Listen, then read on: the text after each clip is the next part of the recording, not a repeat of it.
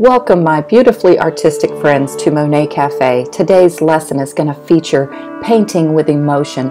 Have you ever felt like you just needed to paint and you just kind of wanted to escape the challenges of life? Well, join me in this tutorial where I try to capture that emotion and have my art reflect it.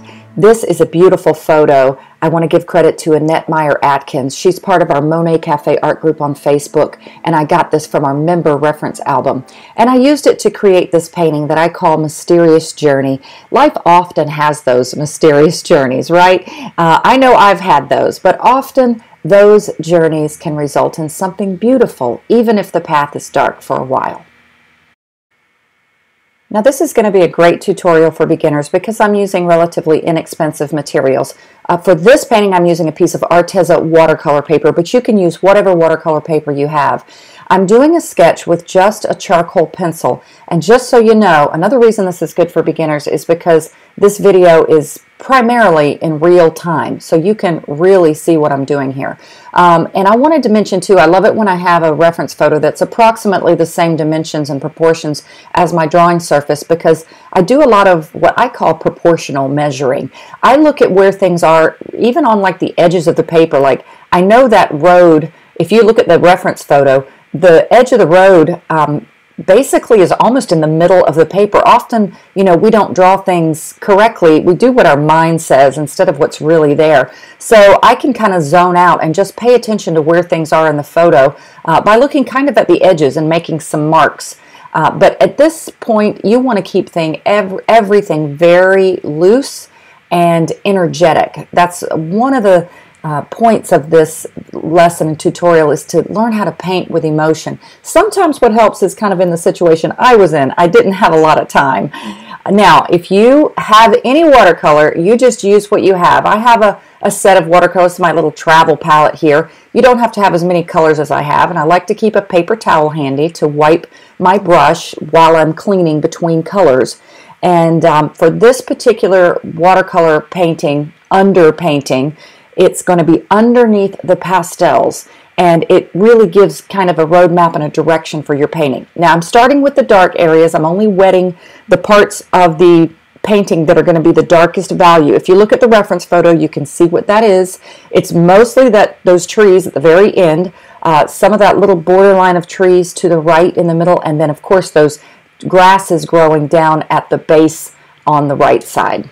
So this is really just like all of the other lessons where I talk about value. We're, we are using color, but we're getting our values established first. Now, mixing your, pat, your watercolor, um, you want to get a good dark. You don't want to just use black. So I have a recommendation of three colors that make a pretty good dark. It's really just red, blue, and green. Um, but I sometimes mix it up by using a little phthalo blue. You can change the colors, and all of this color mixing will just get better the more you do it. But practice a lot. Don't expect to create uh, everything um, looking um, right to begin with. That's why we have to practice. Oh my goodness, I had to practice with watercolor. I had no idea what I was doing. I had seen somebody did a, a watercolor um, underpainting in another video tutorial years ago um, doing a pastel painting and they used watercolor underneath and I was probably like a lot of you guys. I was I had no idea what I was doing. I didn't even know what watercolors to use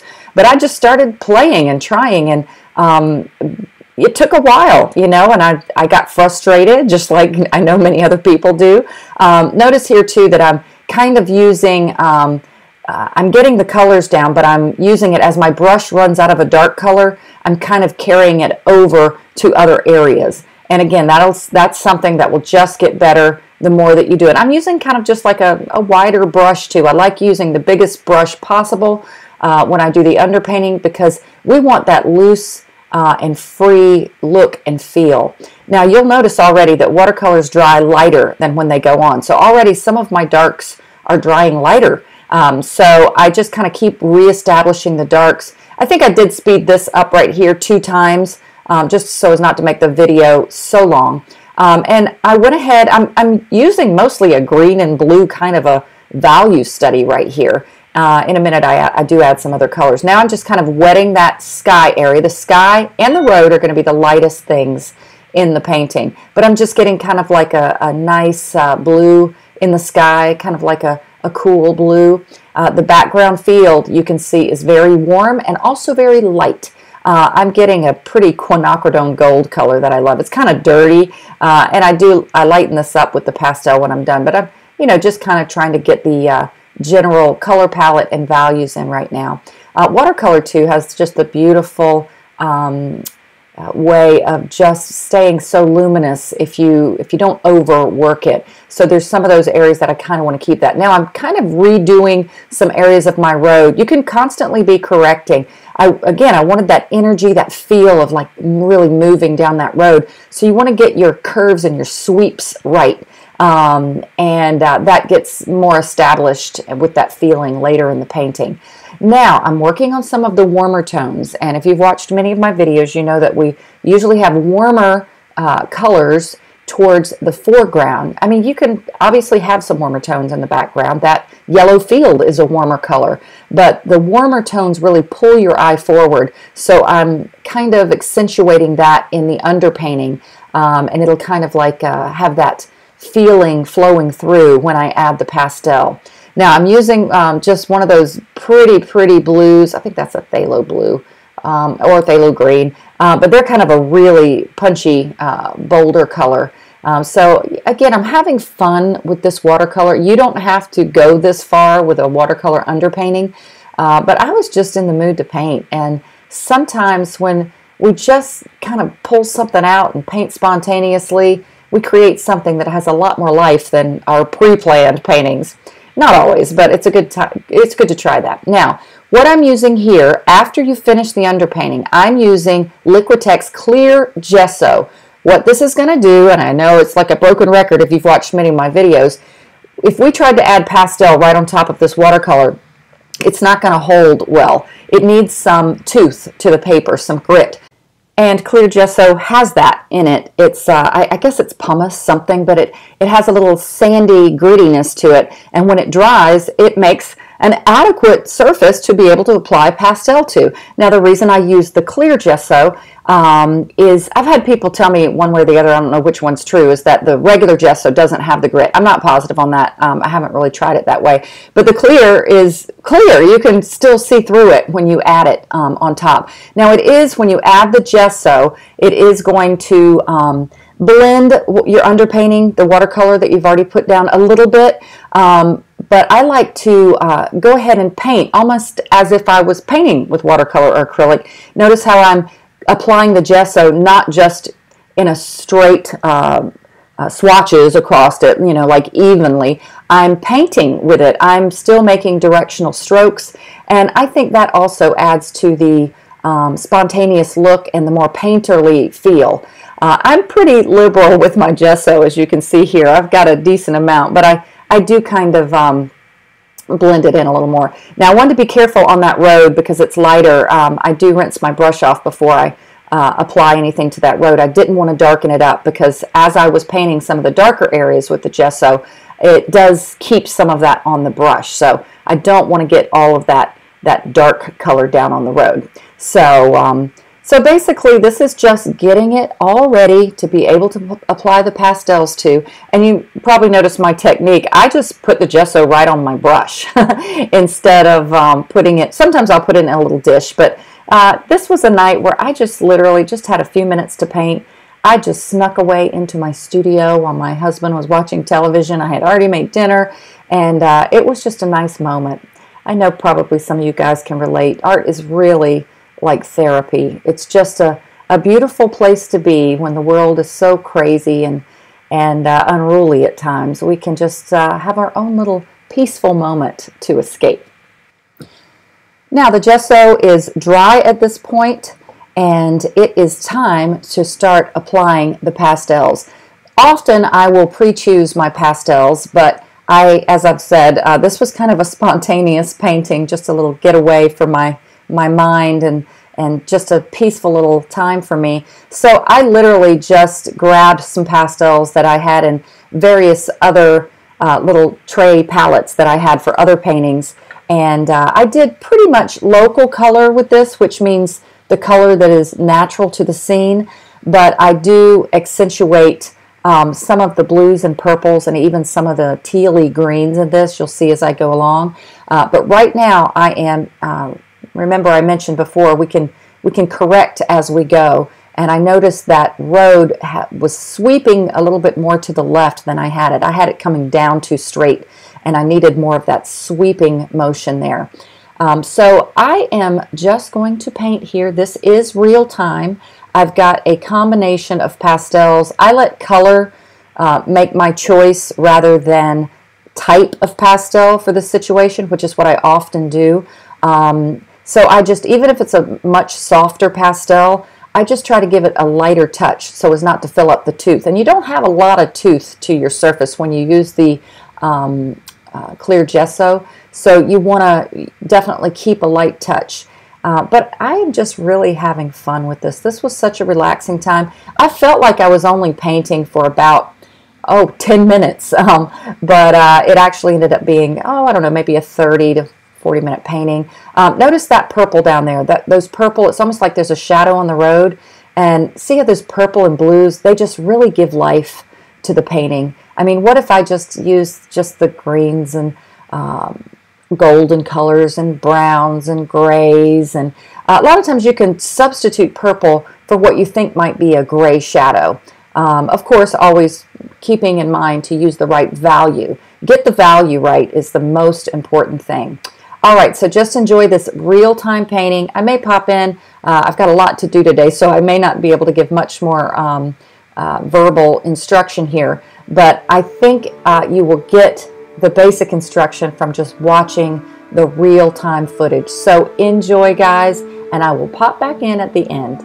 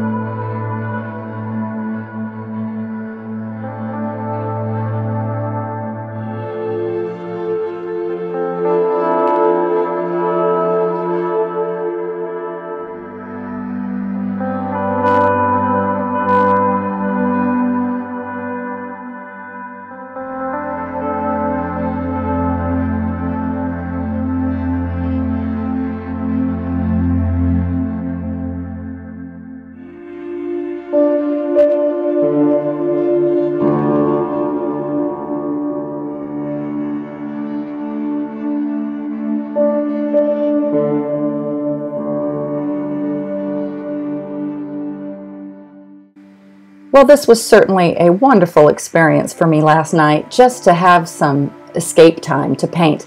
I pray that you try to do that. Um, just try to relax and enjoy the creative process. And here's the final painting, very loose and free and full of emotion and energy. I called it Mysterious Journey. And by the way, I do sell my art. I forget to say that a lot. So this one is available until I mark it sold on the description of this video. So I hope you learned a lot and most of all, just relaxed and enjoyed the creative process. As always, happy, happy painting.